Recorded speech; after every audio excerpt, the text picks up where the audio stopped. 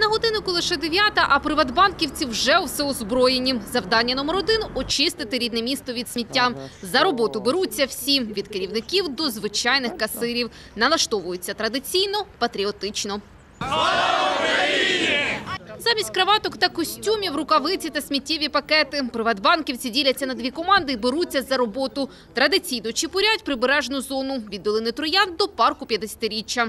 Працівники банку з радістю виходять на суботник, е, збираються великим колективом, залучають е, свої сім'ї, також беруть з собою дітей.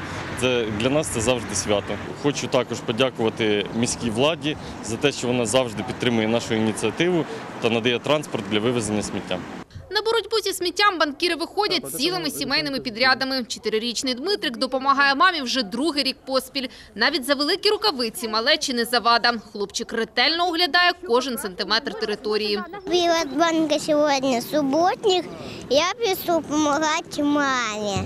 Будемо прибирати сміття разом усіма. Посмітити це негайно. Е, щоб з маличкою його привчати, щоб він е, бачив це, щоб не смітив. Кілька хвилин і сміттєві пакети приватбанківців уже напівповні. Найсміливіші навіть погоджуються показати на камеру, чим найбільше сміттять черкасці.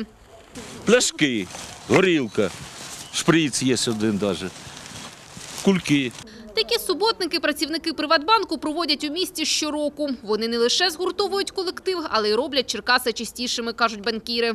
Ми сюди ходимо відпочивати. Нам приємно, коли територія чиста. Прибираємо, облагороджуємо наше місто. Це нам приємно. Цього дня прибирати парки, сквери та набережні приватбанківці вийшли у всіх куточках області та країни. До толоки долучилися не лише банкіри, а й клієнти та партнери банку. Разом вони назбирали майже пів тисячі мішків сміття.